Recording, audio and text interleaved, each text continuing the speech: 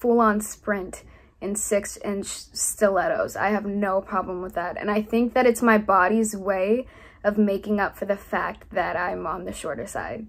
You know, like my feet were like, hey, we understand. We got you. Hi, I'm Jenna Ortega, and this is my Women's Health Body Scan. Something that I used to get hung up on a lot when I was younger was my freckles. When I first started working in the industry, when I was working with makeup artists, they would either cover my freckles completely, which made me feel like they weren't something worth showing or worth appreciating, but also I would get comments like, oh, you have a dirty face, or like your face looks dirty, or like things like that that were kind of weird side digs, which I don't think was professional in any way, shape, or form, but also me being a people pleaser new in the industry. I just kind of went along with what people would say. Here's the thing about the Hispanic community or Latinx community is it's very, very diverse. So it's, you know, we all look completely different. But I think with my background, because I'm Mexican and Puerto Rican, I don't know how common freckles are in that region. I just know my dad is covered head to toe everywhere and he's 100% Mexican. I don't think it's very common, I guess, or maybe it wasn't seen as much in the industry given like how little the Latin community is represented. I do think that a racial component slightly had a part to play because that's also something that people would tell me growing up regardless in terms of racial slurs, in terms of being dirty and other slurs that I guess I won't really say on camera, but things like that. Yeah, I think that they probably weren't used to working with somebody. Um, and that was another thing too, being on set, like nobody ever knew how to do my makeup. And I didn't think it was that hard, but I guess just because my skin has a lot of different undertones, I was never happy with the way I looked on camera growing up because it was like way too dark or way too light or, you know, nothing ever really matched my, it was really, really strange time. It's funny because now we're in a time where people are drawing on their freckles and, oh, freckles are so cute and freckles are so this, but it took me a really long time to kind of, I don't know, come to terms with the fact that they're on my face for good and that's it. I think anybody who has darker hair uh, knows that mustache hairs, they'll, they'll pop up. So I don't wax, I use like a cream bleach. When I first started, I didn't have to do it that often. Like I'll do it once every few months, but now it's become a thing where it's like once every two to three weeks, maybe once every month, I guess.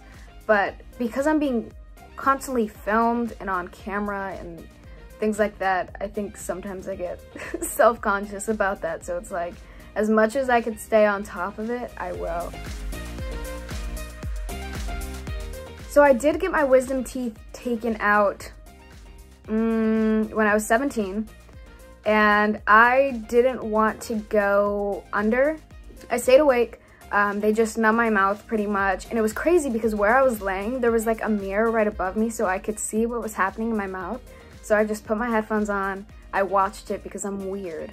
And then um, I remember there's one part too when he was, the, the orthodontist was on my last tooth and he was like, do you think you need more numbing, you know, medicine? I was like, no, I'm, I, am i am good. He's like, all right. And he cracked the tooth and I looked at him and he looked at me and we were like, yeah, maybe we'll put some more of that numbing stuff. But after that, it was fine.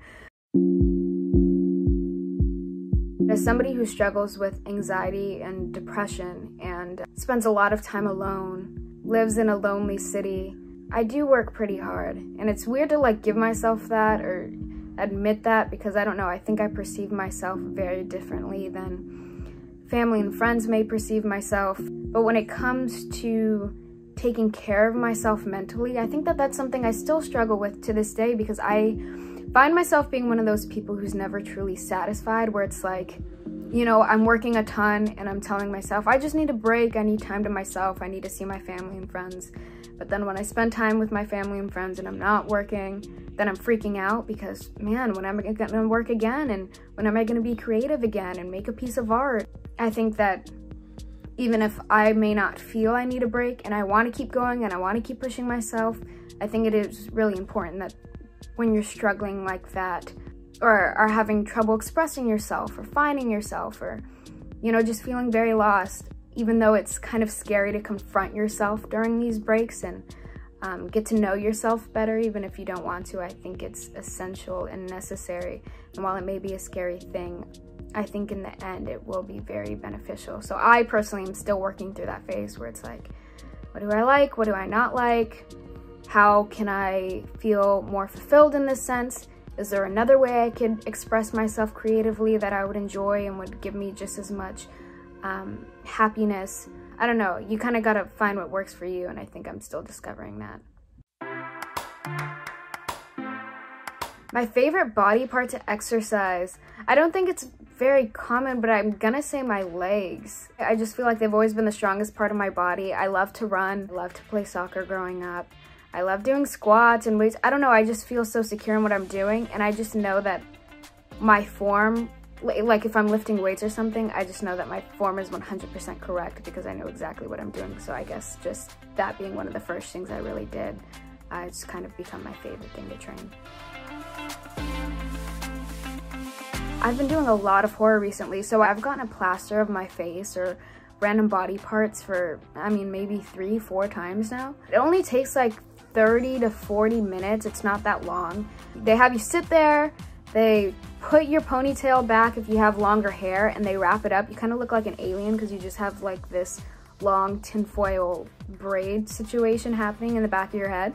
And then they put a wallet's cap on you, and then they pour one layer of silicone, let that get hard, pour the second layer, and then they start to put the plaster, and after the plaster is on, they'll put like a clear seal on everything and then they go from the top and they crack it.